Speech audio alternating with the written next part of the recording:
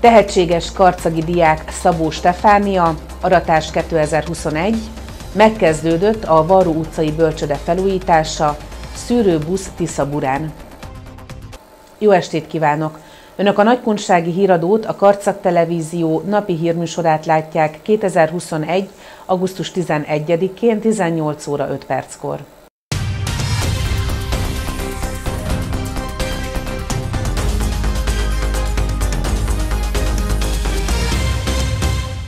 Javában tombol a nyári szünet az iskolákban, de egy újabb tehetséges karcagi diákot ismerhetnek meg.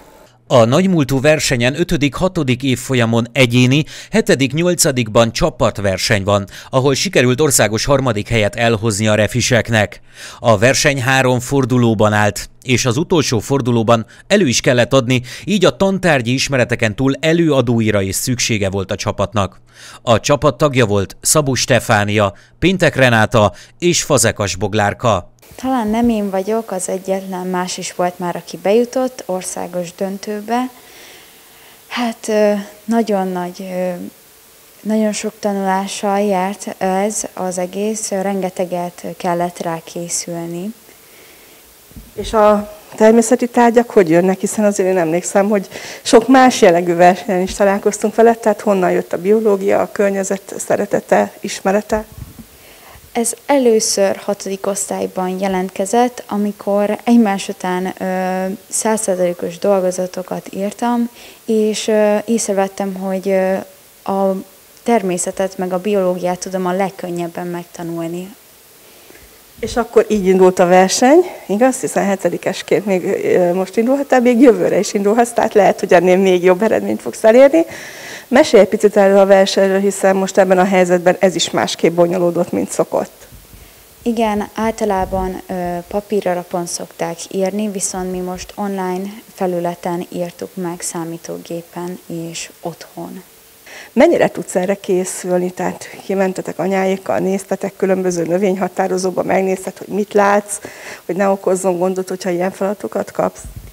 Ö, apukámmal szoktunk inkább határba járni, és ö, őt szoktam is kérdezni ezekről, hogy mit látunk jelenleg, de még erre rá szeretnék jobban gyúrni a következő hetekben. Kedvenc növényed, kedvenc állatod? Ö, kedvenc állatom ö, talán a delfint mondanám, delfin féléket, amiatt is, mivel ugye nagyon értelmes állatok. Ö, növényem talán az egyik világkalendáriumból maradt meg a vérehulló fecskefű, amit mindig felismerek, ugye minden nap látom az utcán, talán ezt mondanám. Mesélj a többi versenyekről, ami volt idén, hiszen tudom, hogy nem ez az egyetlen ilyen sikered. Idén voltam ö, magyarral kapcsolatos versenyben, felolvasó versenyen, voltam informatikán, az csapatverseny volt, és környezetből még kettő csapatversenyen is részt vettem, illetve matematikán is. A csapatverseny vagy az egyéni a nagyobb kihívás? A csapatverseny talán amiatt, mert össze kell dolgoznunk, és hogyha valaki nem ugyanazt gondolja, mint a másik, akkor meg kell keresni azt a pontot, amiben egyetértünk. Egyébként rajzolás, éneklés, az éneklés továbbra is megmaradt, ugye, mint hobbiként, ugye a zene az eleve az életemben van, mint ugye, hogy zongorázok már jövőre hat éve. Rajzolni szeretek, inkább a festi, festi ö, Festészet iránt Igen, a, amiatt, igen. Inkább azt szeretem jobban csinálni, de szeretek nagyon rajzolni is. És ilyenkor kirajzolod magadból a gondolataidat, vagy, vagy hogyha letesznek egy egy csendületet, inkább másolni szeretsz, vagy az olyan, amikor szabadon szárnyalhat a, a gondolatod? Hát igazából nem vagyok profi ebbe egyáltalán, csak annyira csinálom meg, hogy rajzolrája, rajzórára, de szeretek képzelődni is, de amikor másolni kell, az lehet, hogy egy kicsivel könnyebben megy. Maximalista vagy? Annak tartom magam, nagyon sokan annak tartanak. Az apukám meg anyukám is mondta már, hogy nem kéne ennyire a százszerzalékra hajtani. Hubai Imre Csabával, a Nagykun gazdakör elnökével beszélgettünk a határban az aratásról. Városi szinten befejeződött az őszi árpa aratása, szép eredménnyel. városi szinten a betakarítási munkákkal ugye befejeződött a őszi árparatása szép eredménnyel. A őszi búz aratását elkezdtük egy hete. Az egy hét alatt a gabona területének 50%-ánál többet learattunk. Jelenleg is folyamatban van a betakarítás. A betakarítás területi adatai nagyjából meghaladtuk az 50%-ot, az átlagtermés 5 tonna feletti átlagtermést tudunk betakarítani. Amit nagyon kiemelnék, a minőség kiváló minőségű. Általában malmi egyes búzákat takarítunk be. Ez azt jelenti, hogy ez a minőség árral összevetve az a 6200-6300 forintos egységárat jelenti. Megjegyzem, hogy a gabona termés Európának ezen a részén kevesebb, mint amit vártak a gazdálkodók. Magyarországon meg lesz a 5 tonna feletti átlagtermés. Ez azt jelenti, hogy kiváló minőségű gabonából az export árulapot tudjuk biztosítani. Megterem tehát a, a kenyérnek való országosan is, megterem az állattenyésztésnek a takarmányalap, megterem a vetőmag, ezen felül két és fél millió tonna exportálap. Karcagváros, illetve Jászlánypun Szónok megye az ország gabonatermő területének több mint 11%-án termel, tehát mi jellemzően gabonatermelő megye vagyunk. Karcagváros meg különösen az, hiszen a gazdatársaim 40-45%-ban gabonát termesztenek a területen, hiszen ez kiváló adottságot, éghajlati talajozottságot jelent, meg nagy gyakorlatot, komoly műszaki hátteret és komoly szakmai tudást.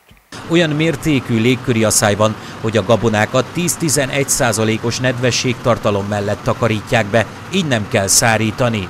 Nem kell szárítani, hiszen olyan mértékű asszály van, illetve légköri asszály van, hogy a gabonákat 10-11 százalékos nedvességtartalom mellett takarítjuk be, tehát ilyen szempontból a költségeinket nem terheli szállítás. Ez nagyon fontos dolog, hiszen a szállítás az egy kényszerbeavatkozás, és a minőségre nincs jó hatása. Tehát az a jó, a természetes körülmények között szárad meg a búza. Hát időnként előfordult olyan, mennyi, olyan hőösszeg, hogy 36-38 fölötti, de már ez a gabonát negatív irányban nem befolyásolta. Aki kényszerhelyzetben van, az le kell, hogy adja a gabonáját a mostani áron, de a jó minőség és a termés mennyiség miatt sokan betárolják későbbi eladásra, bízva akár a 10%-kal jobb átvételi árban. Hát aki abban a kényszerhelyzetben van, hogy le kell, hogy adja a gabonáját, az leadja, de miután említettem, hogy jó minőségű, meg a terméskilátások is elfogadhatóak, meg az export lehetőségek, ezért azok betárolják eladásra. Aki pedig saját raktárkapacitással rendelkezik, az vár, kivár, mert elképzelhető az, hogy tonnánként akár egy 8-10 százalékos is jobb árat tudunk elérni, és ez nagyon fontos a versenyképesség szempontjából. Augusztus 25-e után kezdődik a napraforgó, szeptemberben pedig a kukorica betakarítása. A bölcsödei férőhelyek kialakítása, bővítése című pályázati kiírásra benyújtott projekt 500 millió forint 100%-os visszanem térítendő támogatásban részesült. Európai Uniós forrás segítségével a Karcagvárosi Önkormányzat megkezdte a Varó utcai bölcsöde felújítását. A top kötőjel 1.4.1 kötőjel 19 kötőjel JN 1 kötőjel 2019 kötőjel 00003 pályázat keretén belül. A bölcsődei férőhelyek kialakítása bővítése című pályázati kiírásra benyújtott projekt 500 millió forint 100%-os vissza nem térítendő támogatásban részesült. A Karcagvárosi Önkormányzat pályázati forrásból megkezdi a Varó utcai bölcsöde akadálymentesítését, egyes szerkezeti elemeinek felújítását. A jelenleg használaton kívüli harmadik pavilonját átalakítja és korszerűsíti. A beruházás során két új csoportszobát hoz létre, így a projekt végére 22 új férőhelyel bővíti a bölcsődét. A pályázat keretében megújuló energiaforrást alakít ki, továbbá megvalósítja a játszó udvar felújítását, babakocsi és a kerékpárok elhelyezését is. A projekt célja a fenntartható és minőségi foglalkoztatás, valamint a munkavállalói mobilitás támogatása, többek között a kisgyermekes szülők munkaerőpiacra történő visszatérésének elősegítése, a bölcsődei szolgáltatás fejlesztése és új férőhelyek kialakításával. Továbbá a fenntartói költségek csökkentése a megújuló energetikai források kialakításával, tájékoztatta szerkesztőségünket Szepesi Tibor, Karcagváros polgármestere. Tiszaburán állomásoztak a népegészségügy szűrőbuszai. A szűrőprogram fontosságáról az országos tisztifőorvos a helyszínen beszélt, szavait pedig megerősítette, hogy a minap az egyik jármű segítségével sikerült megelőzni egy tragédiát. Nagy érdeklődés övezte a Nemzeti Népegészségügyi Központ szűrőbuszainak szolgáltatásait Tiszaburán.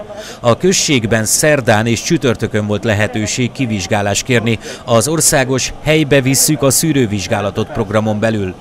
Az első napon 127-en kértek analízist. A megelőzés fontosságáról a helyszínen beszélt az országos tisztifőorvos. Dr. Müller Cecília elmondta, égető probléma a világban a nem fertőző krónikus betegségek magas száma. Az egészségügyi világszervezet tíz olyan egészségi problémát sorolt fel, ami nagyon égető a világban, és tulajdonképpen a nem fertőző betegségek közül a daganatos megbetegedéseket a második helyre sorolta. Tehát az egész világon mindenki küzd ezzel a betegséggel.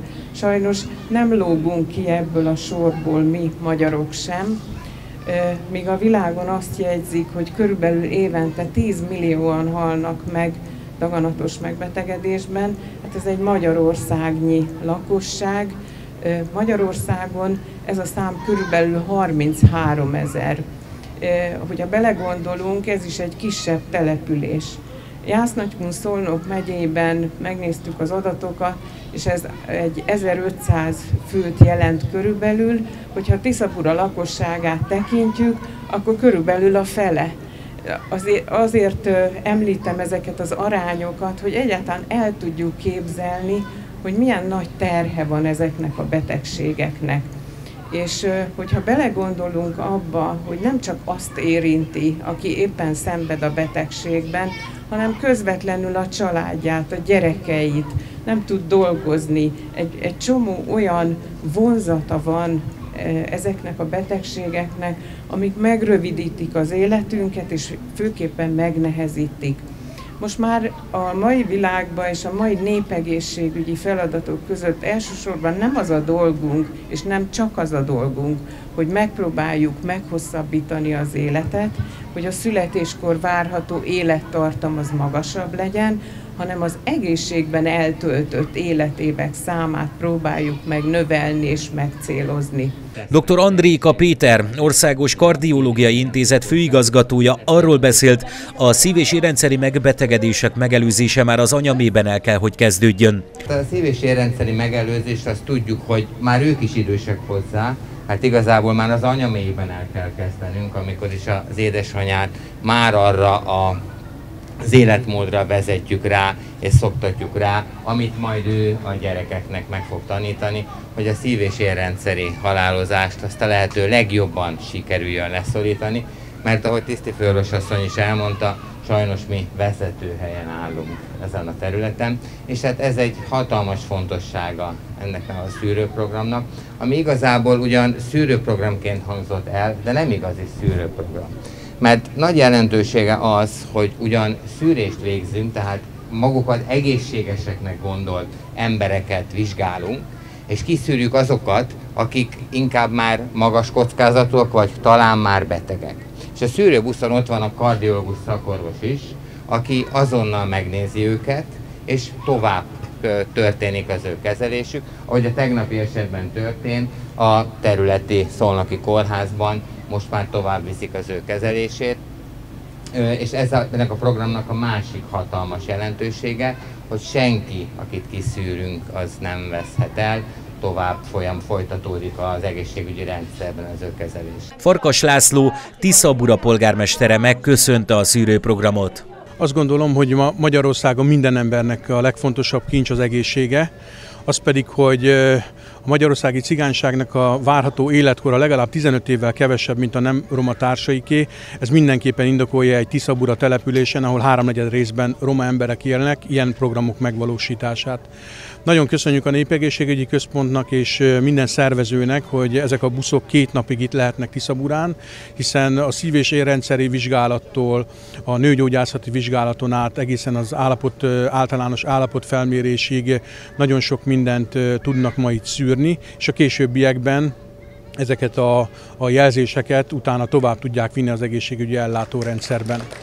Azt gondolom, hogy hogy azok a dolgozók, akik Tiszaburán és az egészségügyben tesznek, hál' Istennek házi orvosunk is, védőnünk is van, nagyon sokat dolgoznak azért, hogy az embereknek az egészsége megmaradhasson és meggyógyulhassanak, ezért el is ismertük az ő munkájukat, évtizedes munkájukat, amit a tiszaburai emberekért tesznek. Az egészségügyi szűrőprogram fontosságát jelzi, hogy mint a felszólalók jelezték, szerdán egy rosszul létre panaszkodó tiszaburai lakos is kivizsgáltatta magát az egyik szűrőbuszon. Kiderült panaszait szívinfarktus infarktus okozta, amelyet így még éppen időben észleltek. Az illető azóta sikeres életmentő műtéten van túl. Kis településeken általában az itt élő lakosság sokkal nehezebben jut el a nagyvárosi egészségügyi intézményekbe, kórházakba, már csak akkor mennek, amikor már a mentő viszi őket, vagy nagy a baj. És 15 évvel ezelőtt a Jászlónkon Szolnok megyei önkormányzat is elindított egy ehhez hasonló szűrőprogramot a Hetényi Géza kórház orvosaival, és már akkor láttuk, hogy nagyon fontos, hiszen a szűrőprogramokban olyan akut betegségeket, olyan problémákat fedeznek fel az orvosok már abban az időszakban, amikor könnyen kezelhető ez a betegség, hogy életeket, hosszú, egészséges életeket tudunk megmenteni. Én azt gondolom, hogy minden egyes szűrés, akár nőgyógyászati, akár daganat, akár kardiológiai szűrés mindenképpen hasznos dolog, hiszen az egészségünkre így tudunk vigyázni.